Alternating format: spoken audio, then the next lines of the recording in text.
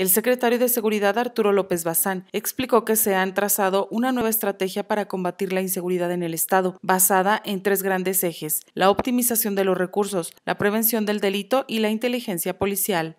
Esta estrategia parte de tres grandes ejes. Uno de ellos es precisamente optimizar los recursos, yo lo comenté, no, no vamos a desgastarnos en gestiones que, que, ya no nos va a dar el, el tiempo para conseguirlo, vamos a optimizar los recursos, hacer más con lo que tenemos.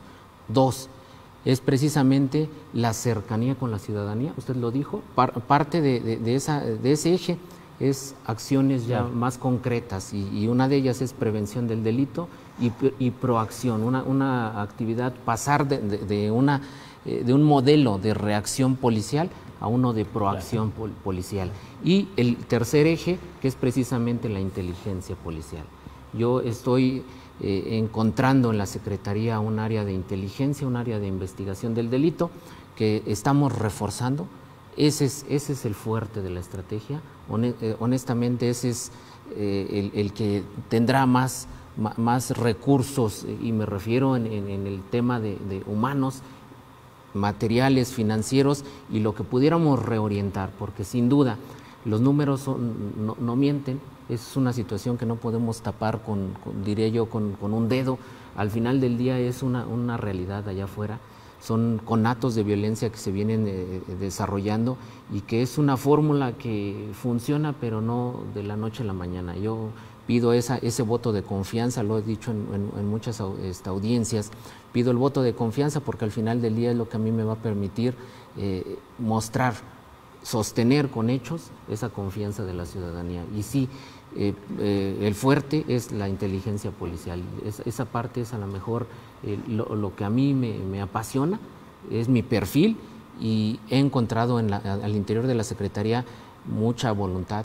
muchas este, capacidades, talentos incluso, talentos que, estamos desempolvando, discúlpenme la expresión, pero eh, yo confío en que en un mediano plazo esos talentos nos demuestren toda la capacidad y lo he dicho en, otros este, escenarios, lo he dicho, yo le apuesto que a que el día de mañana de esas filas salga quien me sustituya a mí.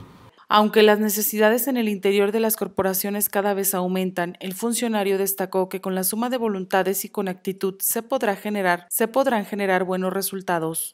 Yo quiero comentar eh, y partir de, del escenario donde tenemos lo indispensable.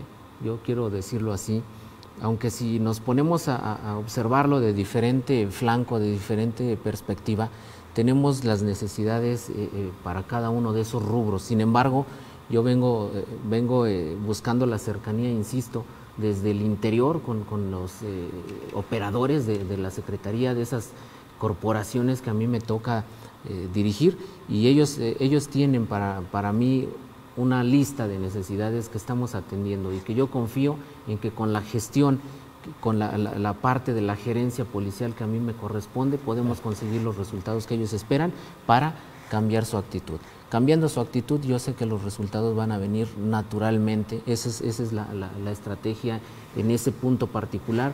Sí tenemos necesidades, sí tenemos eh, este, una lista enorme de, rubros que tenemos que gestionar.